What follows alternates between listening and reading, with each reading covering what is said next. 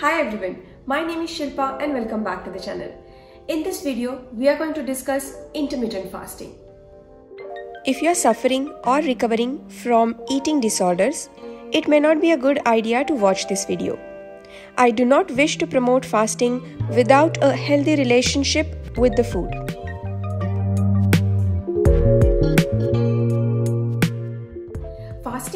A part of many cultures and rightly so because it not only improves your physical health but also aids in betterment of your mental health. It has many benefits and the first and very well known benefit is it aids in weight loss. It also helps in autophagy. Now I want to take a pause here and discuss a little more about this process which is called autophagy. What happens in this process is your uh, older or damaged cells are eaten up by your healthier cells. Now just, uh, it sounds a little weird, but just imagine that if you're really hungry and uh, you have nothing else left at home, what will you do? You will go to your food cupboard and find all those small, small things, leftover things and finish them off. Exactly this is what happens when you're in fasted state and your cells are not no more getting the nutrients. It will go to these damaged cells and eat them up, clear them up. So this is how body gets detoxed during this process.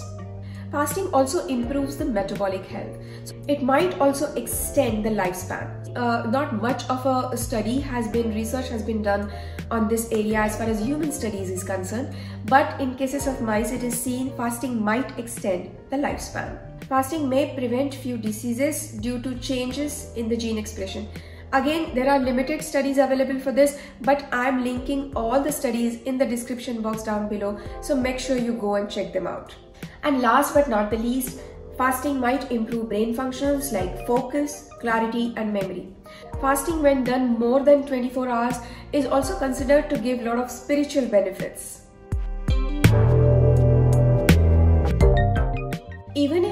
So many benefits of intermittent fasting, this is not something that you can do on your own, particularly if you have uh, pre-existing conditions like diabetes or anxiety. So in these cases, a person should talk to the doctor or a healthcare provider to have a guided approach to intermittent fasting. These people also, I have seen people with diabetes also doing intermittent fasting very successfully, but definitely with a medical advice, with a medical uh, observation, under observation, not without it, not on your own.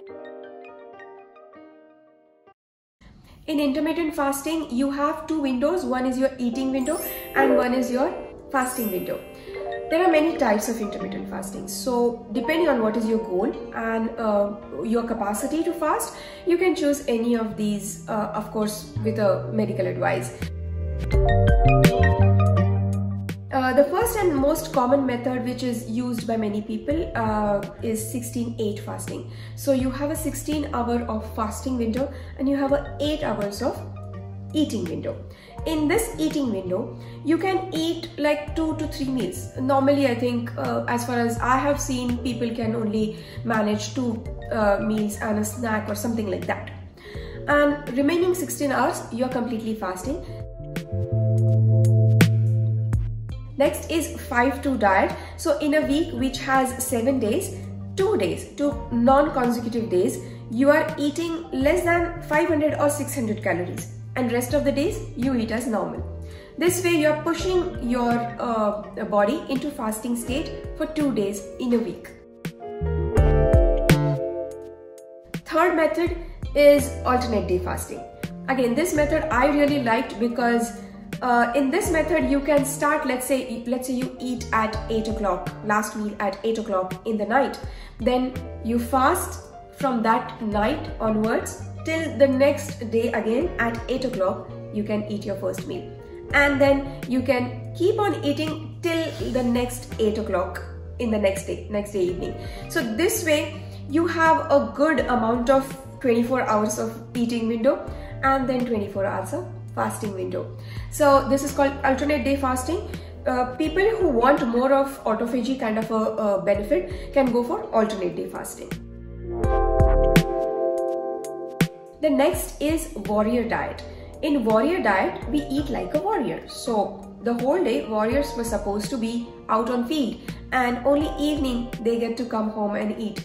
So only one meal at night will be the big meal and rest of the day you can have small snacks like a small fruit or a cucumber or something which is very very small and non-caloric in nature.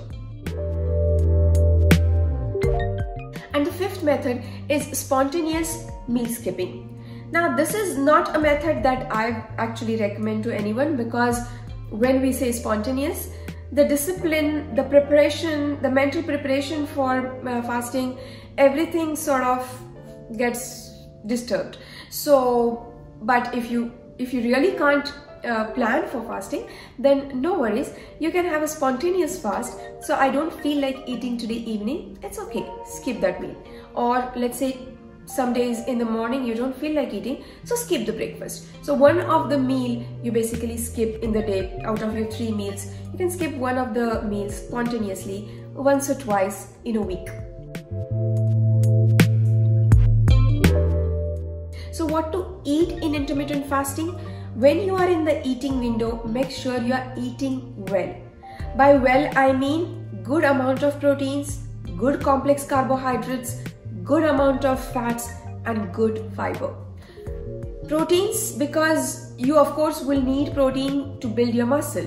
Intermittent fasting is known to reduce fat and maintain the muscle. So you can uh, aid to that particular process by giving a little extra protein.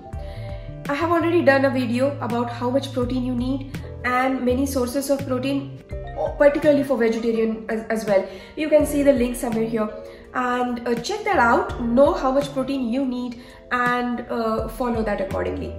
Second important part in your eating is going to be the complex carbohydrates like beans legumes of course soak them sprout them and uh, even rice is okay to eat if, if, as far as it is good rice. Uh, don't eat too refined rice or refined flour. Don't have the sugars. Cut them off and add good carbohydrates in your uh, food. You can also have fruits in that. Then comes the uh, fat. So go for healthy fats like avocado, olive oil, ghee. All these things are good. You can consume them in moderation, of course, during your eating window. And uh, last is the fiber. Fiber is essential, particularly when you're doing intermittent fasting, because it is seen that many people uh, report constipation issues when they are doing intermittent fasting because you're not eating as frequent as you're used to. So to avoid that, make sure that you're eating enough amount of fiber when you are in the eating window.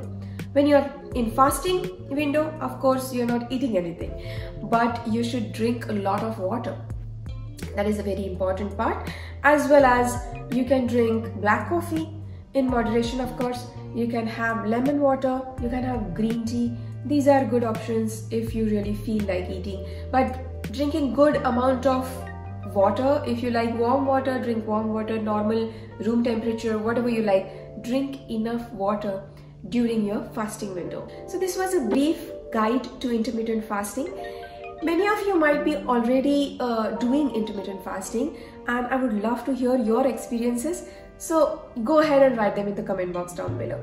And those who are not sure but still want to try and have still a little more uh, clarification required. Ask me your queries as well. I'll answer them to my capacity. Don't forget to like the video and subscribe to the channel if you haven't already.